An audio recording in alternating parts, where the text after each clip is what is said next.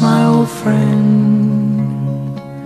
I've come to talk with you again.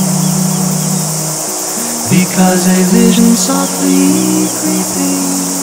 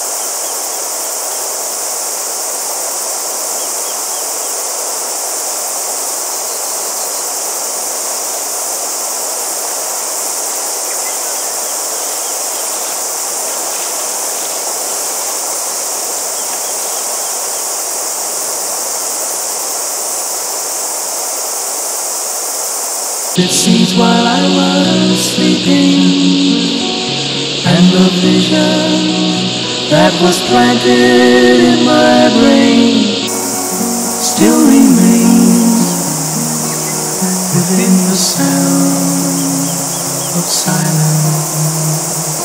In restless dreams I walked alone,